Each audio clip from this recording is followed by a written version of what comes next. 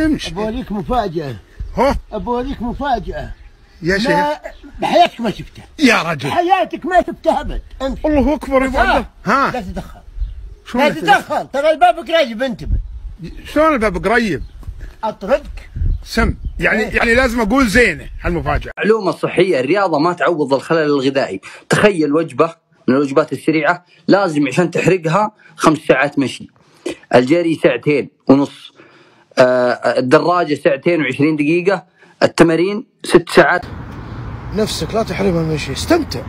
والله اللي يسوون رجيم واللي يأكلون كلهم ماتوا ما حد بقى يعني طوال العمر. شايف كيف؟ تخيل يقول لك بس وعد ودك تموت وأنت إنسان صحي. ما ودك تموت وأنت إنسان غير صحي.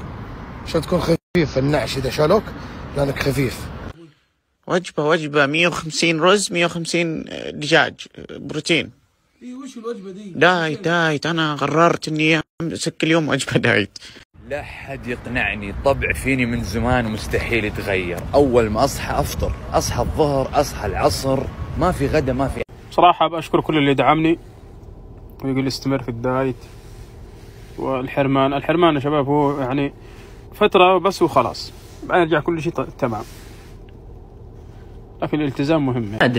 المهم خدت الطلب وافتحه والقى هذه الأشياء. طبعا ذقت كل الانواع وكلها حلوة لكني اكتشفت شيء بعد ما ذقت كل الانواع لما تاكل من هذا الوافل ما تاكل وافل تاكل وافلة وافلة. تشوفون مقسمه المهم خلصنا من الوافل يا ربي يا ربي راح أصير دبة.